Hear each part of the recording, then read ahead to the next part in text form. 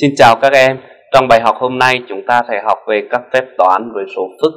À, thì chúng ta sẽ học về các phép toán như là cộng hai số phức, trừ hai số phức, rồi nhân hai số phức và à, xác định cái số phức nghịch đạo và từ đó sẽ xác định phép chia hai số phức.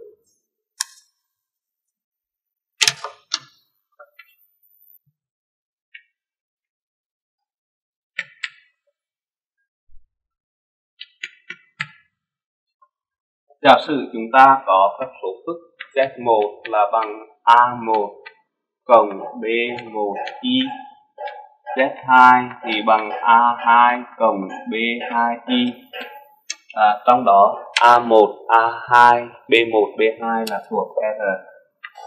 Với A1, A2, B1, B2 là thuộc R đây thì chúng ta có cái công thức sau đây một là z1 cộng z2 thì bằng a1 cộng với a2 cộng với b1 cộng b2 nhân y. Z1 trừ z2 thì bằng a1 trừ a2 cộng b1 trừ b2 nhân y còn Z1 nhân Z2 à, thì được xác định như thế này chúng ta nhân lại thì sẽ được là A1 A2 trừ B1 B2 cộng với A1 B2 cộng với A2 B1 nhân Y. Và số phức nghịch đạo của số phức Z tức là 1 trên Z1 thì được xác định như sau tức là 1 trên A1 cộng B1Y à, và chúng ta sẽ nhân cả tự và màu với số phức liên hợp. Thì sẽ được là A1 trừ B1Y còn A1 trừ B1Y mà nhân với A1 cộng B1Y thì chúng ta sẽ được là A1 bình cộng với B1 bình. Và chúng ta chỉ là phép chia hai số phức thì có thể xem đó chính là lấy số phức z2 nhân với uh, số phức đạo của số phức z1 và như vậy thì nó chính là bằng a2 cộng b2y nhân với a1 trừ b1y và trên cho a1 bình cộng với b1 bình. Và cái này thì chúng ta khai triển ra thì được A1, A2 đây là cộng với B1, B2 rồi đây là cộng với A1, B2 trừ cho A2, B1 à, rồi nhân với Y. Và tất cả trên cho là A1 bình cộng với B1 bình. À, sau đây thì chúng ta sẽ xét các cái ví dụ.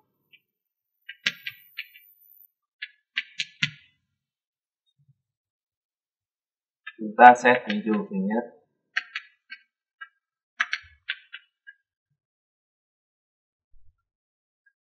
À, tính. Tổng Z1 cộng với 2 Z2 biết. À, Z1 là bằng 3 trừ 2Y và Z2 thì bằng à, 1 cộng 3Y. Để giải bài này thì chúng ta phải xác định là à, Z1 cộng với 2Z2 thì bằng gì? Z1 là 3 trừ 2Y à, cộng với 2Z2 tức là 2 thừa số 1 cộng 3Y à, và khi chúng ta cộng hai số thức thì chúng ta lấy phần thực cộng phần thực và phần ảo cộng phần ảo. Như vậy thì chúng ta được là gì? 2 cộng 6y và thực hiện phép cộng thì chúng ta sẽ được là 5 cộng với 4y chúng ta xét sang ví dụ thứ hai. À, tính z bằng 1 cộng y uh, tất cả mũ 2016 để tính z bằng một cộng y tất cả mũ 2016 thì trước hết thì chúng ta sẽ tính lần lượt này. Chúng ta có là một cộng y bình phương thì được là một cộng với 2 y cộng với y bình phương. Nhưng mà các em chỉ rằng là y bình phương là bằng âm 1 như vậy thì chúng ta sẽ được đây là 1 cộng 2 y trừ 1 vậy là bằng 2 y. Rồi tiếp theo là một cộng y mũ 2016 thì à, chính là bằng một cộng y tất cả bình phương rồi tất cả mũ 1008 mà một cộng y bình phương đó là 2 y. Như vậy là chúng ta sẽ được là 2 mũ 1008 và đây là nhân với y bình phương à, tất cả mũ 504 à, mà y bình phương thì chúng ta biết rằng là bằng âm 1 như vậy thì sẽ được là 2 mũ 1008 nhân với âm 1 mũ 504 vậy là bằng 2 mũ 1008 à, với bài toán này thì người ta cũng có thể đặt ra câu hỏi cho các em đó là à, tìm phần thực phần ảo của số phức z này. Thì như vậy nếu mà với câu hỏi đó thì phần thực là 2 mũ 1008 và phần ảo đó là 0 ta xét sang ví dụ thứ ba tìm phần thực phần ảo của số phức z bằng y mũ 2016 cộng y mũ 2017 cộng y mũ 2018 và cộng với y mũ 2019 thì ở bài toán này thì chúng ta à, sẽ à, đặt y mũ 2016 chung thì chúng ta sẽ được là một cộng y cộng với y bình phương cộng với y lập vì ở đây các em chú ý rằng là y bình phương thì bằng âm 1 còn y mũ 3 thì chính bằng y bình phương nhân y và y bình phương là bằng âm 1 như vậy thì chúng ta có được là y mũ 2016 nhân với một cộng y à, cộng với đây là âm 1 và đây là trừ y vậy chúng ta được là số không. À. à, như vậy thì phần thực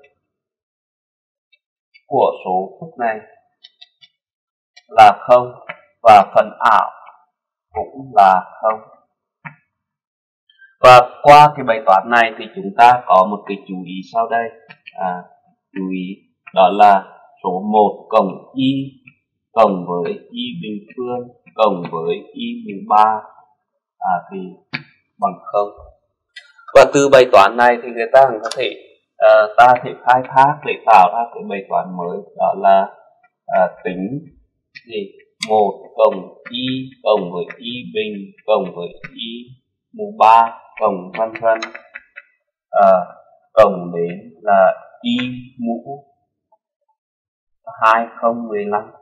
À vậy thì với cái tổng này thì chúng ta sẽ tạo ra được là một tổng y chúng ta từng nhóm từng cái uh, bộ gồm bốn số 1 à, ờ, và tiếp tục quá trình này thì chúng ta sẽ được ở đây là à, một cộng y cộng với à, y bình phương cộng với y mũ 3 và ở đây là 2012 hai và chúng ta biết rằng trong mỗi cái tổng này thì nó là bằng không.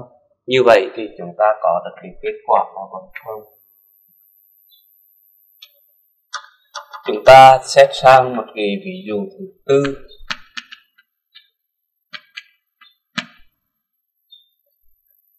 Ví dụ thứ tư là tìm phần thực phần ảo của số phức sau.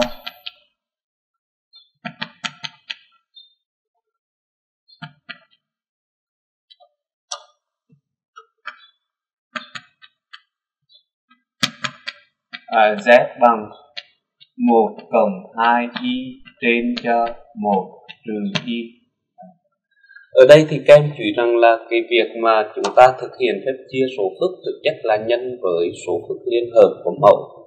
Như vậy thì à, chúng ta có là z thì chính là bằng 1 cộng 2 y à, nhân với số phức liên hợp 1 trừ y đó là 1 cộng y Ờ, tất cả trên cho một trừ y nhân với một cộng y.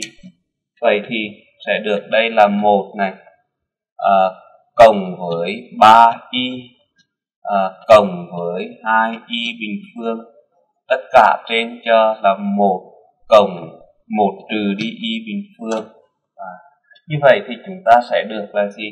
2y bình phương đó là âm 1 như vậy đây là trừ 1 cộng với 3y và chia cho 2 hay là chúng ta thể viết là trừ 1 phần 2 cộng với 3 phần 2y vậy, phần thực ở đây là phần thực của z. Đó chính là âm 1 phần 2 và phần ảo của z. Đó là 3 phần 2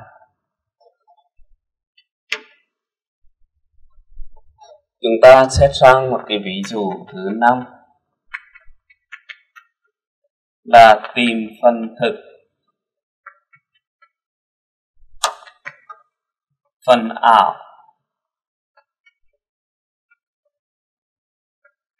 Của số phức z một cộng với hai y nhân với hai cộng ba y.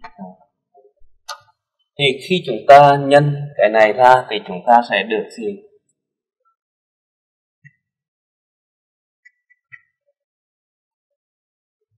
Chúng ta sẽ có là z thì bằng là 2 cộng với 3y cộng với 4y cộng với 6y bình phương. Và khi chúng ta làm gọn thì chúng ta sẽ được là 2 cộng 7y trừ 6. Như vậy được đây là trừ 4 cộng 7y. Như vậy thì chúng ta có là phần thực của z là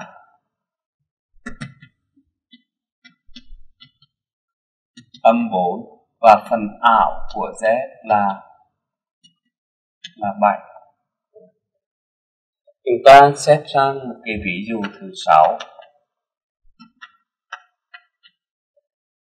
Là cho số phức z bằng a cộng bi hãy tính à, tích của z nhân z ngang.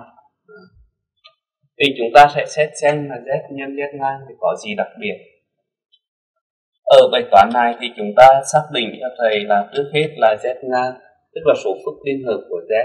Thì nó sẽ bằng là gì? A trừ bi vậy thì z mà nhân với z ngang là gì? Là được a cộng bi đó là z, và nhân với a trừ bi đó là z ngang. Và chúng ta sử dụng cái hàng đặc thức thì các em sẽ được là a bình, trừ cho b bình nhân y bình phương nhưng mà các em chú ý rằng là y bình phương thì bằng âm 1 do đó là cái này bằng a bình cộng b bình. Và qua bài toán này thì cho chúng ta một cái ờ, điều chú ý đó là gì? À, z mà nhân với z ngang thì nó chính là bằng bình phương mô đun số z và cũng là bình phương mô đun của z ngang. Và chúng ta hẳn rằng là z nhân z ngang là luôn là một số thực z nhân z ngang là một số thực